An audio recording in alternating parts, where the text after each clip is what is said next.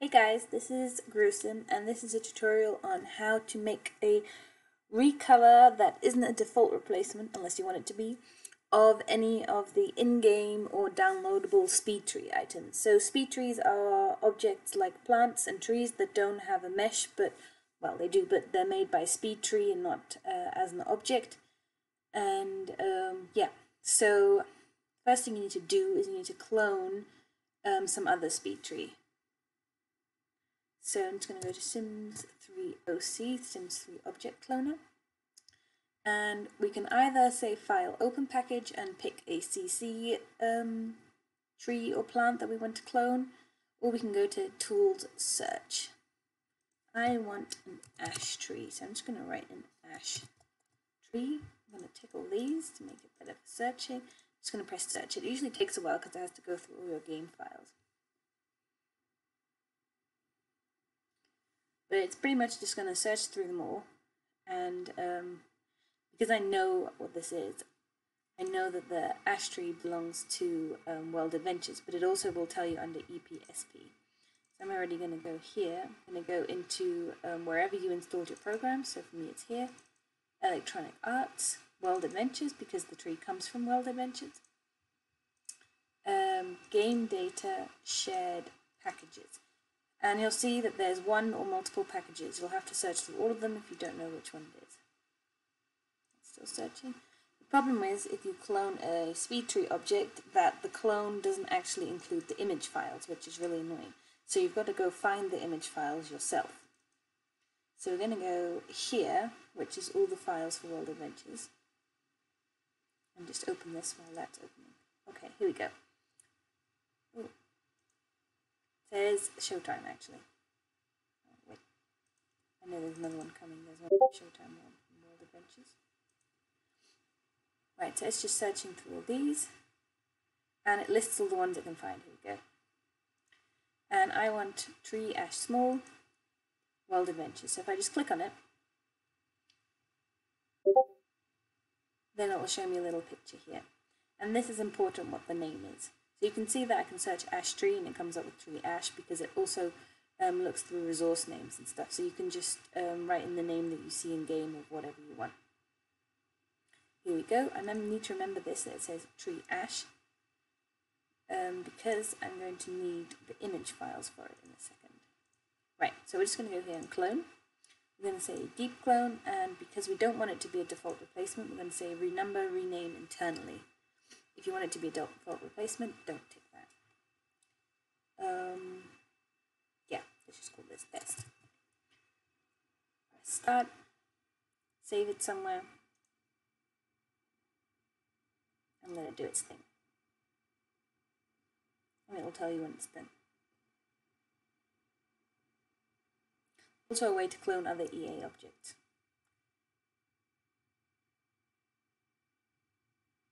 And um, if you press that renumber internally then you're never making a default replacement. So we're pretty much done in Sims 3 Object Cloner. Now if I show you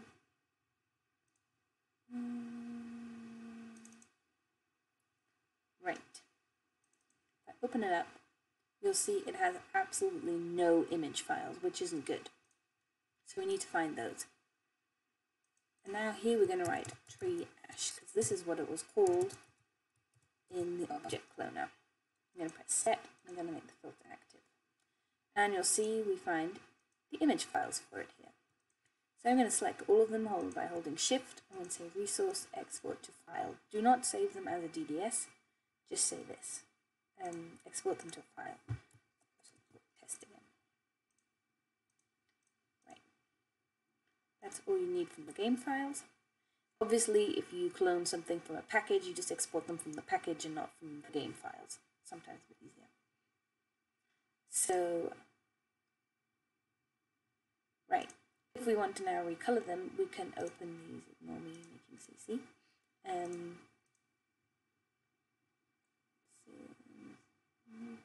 three, we can open these, um, for example, this, um, and we can recolor it. So the first thing I might do is just make it a bit bigger. See what I'm doing. Make sure you stay within the DDS sizes. Go to alpha layer, click this little circle in the corner, go to layers, right click layer from background, and select inverse and delete. That way we've got a cutout. And now I can edit this however I want. I usually try and keep the relative shape um, of the tree and the leaves just to make it not look as weird. And you can also edit the other files. So you've got these. These are called the billboards, which is what it looks like from far away. You can edit them to fit the same color or do whatever you want. Make sure if you say uh, when before you save, delete the alpha layer so that it generates a new one in case you've done something new. And when you save, save as, I would say save it as new file, so it's new. Uh, save as DDS, and this needs to be DXT5 generate bitmaps and interpolated alpha. Um, the only one that gets saved as something else is this one called self shadow. This is um, pretty much just says the shadow of it. But this one, which usually people don't edit, needs to be saved as DXT1 without um, alpha. Right, so let's just pretend we actually edited that. You can edit that however you want in real life pictures. Um, now we're going to say resources, and um, open the thing that we cloned from the Sims 3 object, resource import from file, and we're going to select all of these files that we exported from the game files and just say open, import. Good. So now you'll see we have Bark D, Bark N, Self Shadow, Composite D, Composite B, which stands for billboard, and another composite B, which is the normal map, which is why it's white. It doesn't say N, but you'll need to know that it is the normal map. Um, obviously, if you've made a new edit of this, right click replace, um, select new. I didn't really change anything, but made it bigger. You can see it's a new one. And now we need to link these files um, to this project. So what we're going to do is we need a hex editor. So um, it says in the text how to get that, but literally you go to settings, external programs, tick yes, and link to a hex editor. So I use XVI32 and just link to the exe file. Now we can right click and say hex editor. Now this looks like a shitload of numbers, that's really confusing, but it's actually pretty easy. So, ooh, close that for a second. Um, you can see that they're all called something with ash and tree. So we'll just try and find a common word for all these images, and ash works pretty well. So what I'm going to do, I'm just going to say search, find, ash. And you'll see it finds it. So it says here, tree, ash, and you'll see that it's like a file location. So C, blah, blah, blah, blah, blah, tree, ash. And then this is the name of the file. Um, tree, ash, underscore, bark, D. So it's my bark um, file name, but TCG, TGA. So what I can do is I can rename or change a couple of these letters in here.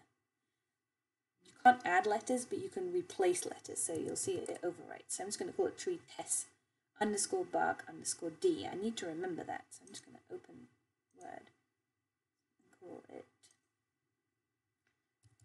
tree test underscore bark underscore D. Right, I need to remember this. Good. Now we can just go to search, find again down, and we'll find another one. This says tree ash leaves. Leaves does not exist as one of the pictures. You'll know that the file names are um, self shadow, they're the composite, and the billboards. And bark. So leaves doesn't exist, so we'll leave this one. Find again down. Leaves 2 also doesn't. Find again down. Right, here we've got tree ash frond. Frond also doesn't exist. These are the three that really don't exist. Find again down. Tree ash self shadow. We know that one exists, so I'm going to do exactly the same here and call this test. Okay, so tree test underscore self with a big S shadow. Tree test underscore self shadow. No, there's something else in there. This is why. Oh yeah, no, that's right. Search, finding in down. Tree composite D. Yep, we didn't change this, so tree test underscore composite underscore D. Tree test underscore composite underscore D. Search find again, down. Tree, mm, here we go, here it is. Bark underscore D. We've already got this one, but it comes up twice, so we'll change it twice. Search, find again, down. Tree bark M.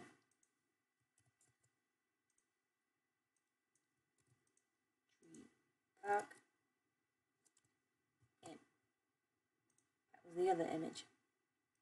Search, find again, down. Leaves, we don't want that. Search, find again, down. Leaves, again, we don't want that. Search, front, again, we don't want that. Composite D, again, we have that one, so let's change that to test. Search, find it down. Test. Oop, that was the wrong one. Oop, tree ash, sorry. Tree test. Make sure you're actually writing the file name and not the location. Tree test underscore composite underscore billboards underscore D. Tree test underscore billboards underscore D. That's the zoomed out. Sorry. Find again now. Change that one. Uh, composite billboards underscore N. That is the normal map. This is what I'm saying. You need to know that it's the normal map. Because it looks like one. Right, search, finding in down, self shadow, yep, we have that one, tests, search, down. Okay, string not found, that means we've come to the end of this. So now we're just going to say file, save, close that, it'll say do you want to update it? Yep. And it'll see it deleted the old um, SpeedTree and gave you a new one.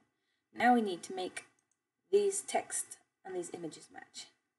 So double click one image and here we're going to change the name to what it was. So it used to be used to be tree ash bark D, so it's the bark D one. So we'll take this,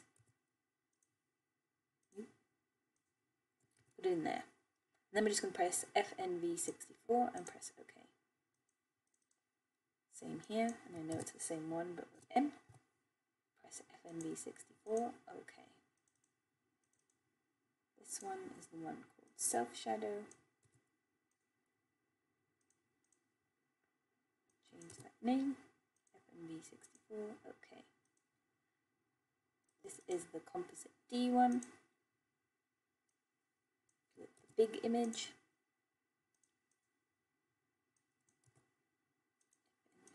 Okay.